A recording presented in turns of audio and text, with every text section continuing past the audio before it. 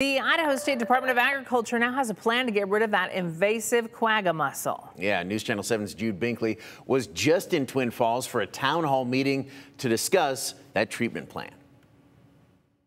It's been two weeks since the Idaho State Department of Agriculture found invasive quagga mussels in a stretch of the Snake River near Twin Falls. We've done extensive sampling upriver and downriver from our initial results, and what we have found consistently is veligers in the Twin Falls Dam area down to Centennial Park. The department also found a plume or epicenter near Shoshone Falls with an adult quagga mussel.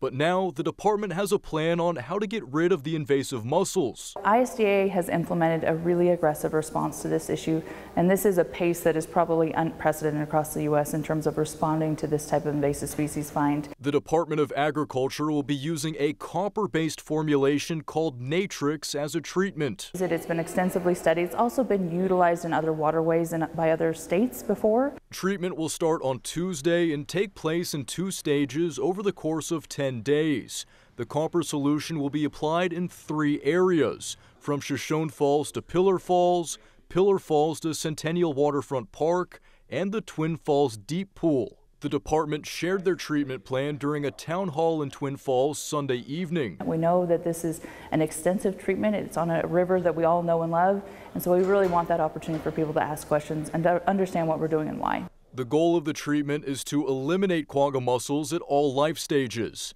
The Department of Agriculture says the treatment will stay in the water for about three days and isn't expected to impact any drinking water sources.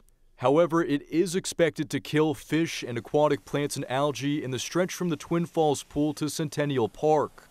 Idaho Fish and Game has a benchmark for fish populations which will help guide future fish restoration efforts. The section of the Snake River from the Twin Falls Dam to Niagara Springs remains closed as agencies try to fight the potential crisis.